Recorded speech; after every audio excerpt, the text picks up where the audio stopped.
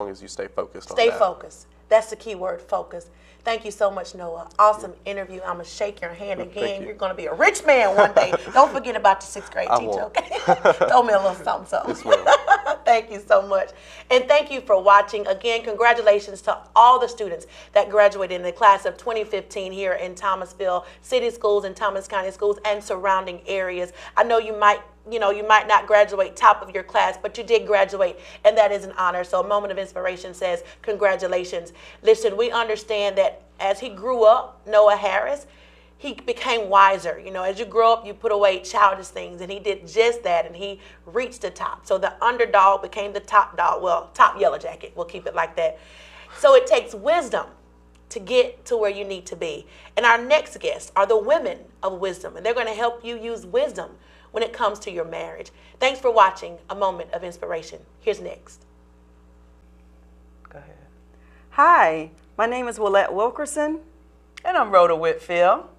And we are the Women of Wisdom. We are so glad to be back with you again to do this telecast. We've been gone for a minute, but we have been doing other things. So today we are excited to be with you and to bring you um, a topic today that we think is going to be extremely exciting. We're talking about on the job training, OJT. Does anyone know anything about OJT, on the job training? And I guess you might be asking yourself, well, what does OJT have to do with marriage? Well, you know, uh, when we think about on the job training, we think about um, going into a job with your experience, your, your background knowledge, um, your education, and you take all of that to a job, and they are going to take you through a training. And a lot of jobs will pay you while you are training on the job. But we want you to know that there is not a prerequisite, there is not a living arrangement that will give you on the job training for marriage. Amen. Living together, um, Willette, what I want the, our listeners to understand is that even though you choose to live together, that does not set you up to get a feel of what marriage is all about. And you know, when you look at living together, you have two different couples. You have the couple that they're living together for convenient purposes. Um, Just tired of getting up, going to my own yeah, house. Yeah, they don't want to go to their own Mm-hmm. house. They want to just stay the night. They want to just have everything conveniently available to them. They split the rent, they split the utilities. Okay. This is my money, that's your money, that's your car note, my car note. And so basically, they're in a uh, a situation where if they get tired, they can just up and leave. like a roommate situation. Right. It's a roommate situation with benefits. But Okay. then there's another couple. Okay. And there's that couple is a couple they are moving in the right direction together and they choose to live together, but they are focusing on the fact that we're going to go in the godly way.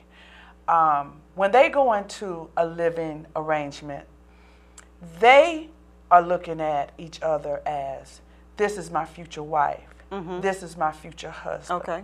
And they're trying to educate themselves so that they can be that godly woman, that godly man. And that's the difference in those two uh, situations. But I think in both situations, we don't want either couple to um, allow living together to give them a misread of marriage because it's really not an on the job training for marriage. And the reason I say that is because your living conditions, um, living together without marriage, you're really operating under um, the plan of Satan. And so he's not going to throw the attacks Exactly. to you Exactly. as he would um, a couple that has come into an agreement with God to live together and marriage. And see, and they don't understand that. The devil has no concern. You are living exactly like he wants you to mm-hmm, live. Mm-hmm. Now, when you opt and you choose to go before God, family, and friends and exchange your vows and go into a covenant with God, now the enemy is going to attack. Mm-hmm. And here is the point that is very important to get educated don't go into a marriage feeling because there's no manual. That's right. There's no manual that says do it this particular like way. you would get on on the job training. Now, mm-hmm. this is on the job training. Mm-hmm. Mm-hmm. And so now you were living together and y'all were getting along just fine. But we have to now move from this is my money, your money, here's my half of the rent. I got my half. Okay, let's pay our rent. No, Okay. no, no, no. It's now our money. And my aunt has an old saying, it's our money. It's our money. It's our money. Right. So if I'm broke, you broke. okay. So you got money, I got money. right. So you're saying we should be moving into oneness. Into oneness. Oneness. And we can't go into oneness until we are uh, God ordains our marriage and we go into a covenant because that's when oneness is developed. He expects us to be one. See, when we're living together, we are two imperfect people just living together. Now we get married, we're still two imperfect people. But we have moved But we're into now a into a perfect union. Absolutely, absolutely. And that is how you receive the blessings of God. Mm-hmm. So to put it in, in plain terms where they might understand, it's like having insurance. You know, it's like, you know, if you're living together, just shacking together, you kind of got the PIP. But Mm-hmm. if you are married, you got full coverage. That does not mean you're not going to have trouble, but that means your plan is going to cover you That's right. you're going to be covered. So when the enemy come against you, God got a way of escape. He has already planned a way of escape for you, and he already has your back. He already has it worked out. The battle is not yours. But when you're living as individuals and you're not in that covenant relationship with God, then you got to just struggle through every situation, every circumstance, not knowing how you're going to come out. I, you know, I go through hard times, but I don't worry about how I'm going to get through to the other side because I know God got me and my husband. Right. And at this point, you know, um, with the time that both of us have been married, we have been through enough to know God has has shown himself mighty and great. Mm-hmm. And he's shown us he has the ability to bring us through. Yeah. And so all we know all we have to do is just be still and wait. Now if he brings us to it, he's going to take us through it. Absolutely. But when you look at a newlywed couple, Mm-hmm. you know, they want everything in their life is microwave. They want everything to be Yes, quick, quick and- and in a hurry. Yes, yes. And marriage is like making some homemade soup. It's got to simmer. Okay. And you got to throw a whole lot in it. A, a whole lot of ingredients. A whole lot got to and go in it. some ingredients you might say, mm, I don't like that flavor. And the next time you make it, you might omit it. But it's got to simmer to get the flavor Through it. that you want to savor. Mm-hmm. Come on, somebody. Okay.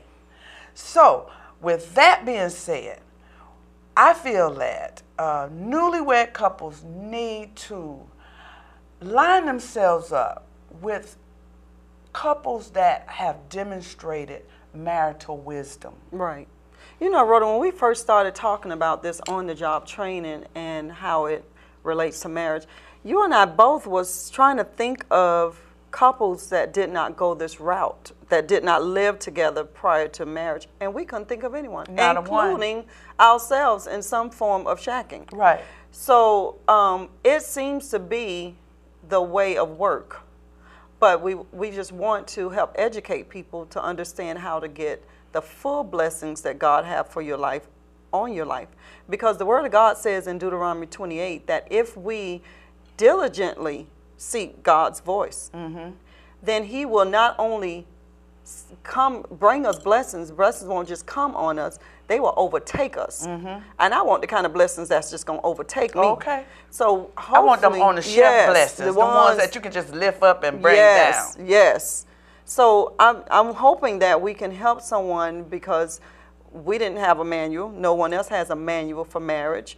And so I'm hoping that we can just help someone in understanding that you don't have to get a false reading of this is what it's going to be like when we get married. Let's just live together. No, that is not the on the job training that you need for marriage. is not going to properly prepare you for marriage. And you know something? I think they also, our listening audience, need to understand this. They, they may feel that living together is 24 7, but shacking comes in other forms. Yes, let's talk about Okay. that. Okay. Let's talk about that. Shacking can be that um, you just don't feel like getting up going home tonight. You spend the night. It's convenient. You're there. He's there. And you don't get up and you go. If you do that so many times out of the week, so many times out of the month, that's equivalent to shacking. All right. Now, here's the other benefit of that one that they think they have. I don't have to share your rent. Hello, somebody. I'm just spending. I'm just spending I'm the just night. taking advantage of the right. situation. I'm just filling up some free air. Mm-hmm. You're right. You're absolutely right.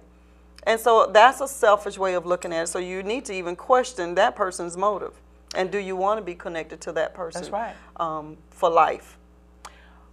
One thing they need to remember is everything we do in life has to have a why. Exactly. And when you live with someone, there needs to be a why. Mm-hmm, Why am I here? What am I what am I going to achieve? Now you have like I said earlier, you have two couples. Right. You have couple number 1, they live together. And it's for convenient purposes. And if they don't like it, next week they, they may be living with someone else Right. couple number two, they have a why. Mm-hmm. They said from the onset that this is going to be my wife, this Mm-hmm. is going to be my husband. They have already identified their spouse. Walking with a common goal. Right. Okay. They're going. They know in five years they want to be married. They want to have children. They want um, to be financially set. They want a new home. Mm-hmm. Go back to couple number one. They just want to be together. That's all. I They just- want everything at their fingertip. So they want to practice marriage, But they, they want don't- the they want the benefits of being married, but they don't want the commitment of being married. They don't want the commitment. Okay, so Rhoda, let me see if you can help me. Let's say that I am um, now engaged. I live with my um, fiance.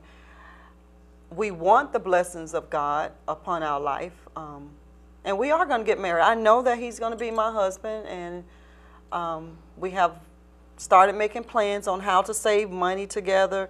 What advice would you give me um, for moving into that oneness that you talked about earlier? I still would say that that person needs to be educated. You know, when I got married, there was not a lot offered for a married couple. There was really not even any premarital counseling. You're right. So um, these are things counseling, getting premarital counseling. Okay.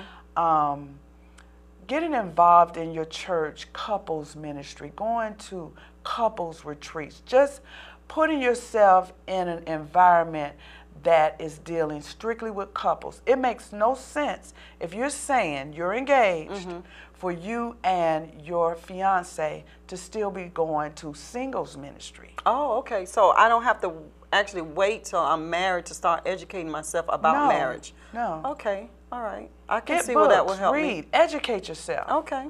I can see where that will help me. And hopefully it will help you too.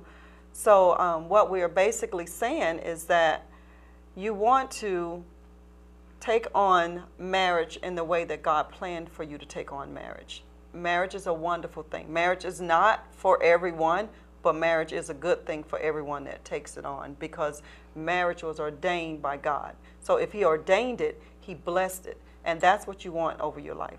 Okay. Well, we sure hope we help someone today. And um, the next time we record, we're going to have some guests in the studio with us uh, that are newlyweds, and maybe they can give you their perspective and give you a better understanding of what we're talking about regarding on the job training. So for now, we want to say keep, Keep it, it tight, tight and, and keep right. it right. Have a good day. Thanks again for watching another edition of A Moment of Inspiration. I hope you were inspired, empowered, and motivated today. Listen, if you have a story to share with us, please do so. Email me at blessings12 at yahoo.com. B L E S S I N G S 12 at yahoo.com. Thanks so much. See you next time.